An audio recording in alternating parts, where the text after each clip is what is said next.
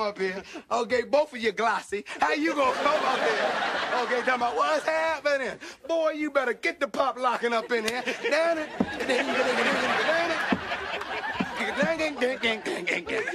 What the hell's wrong with you, man?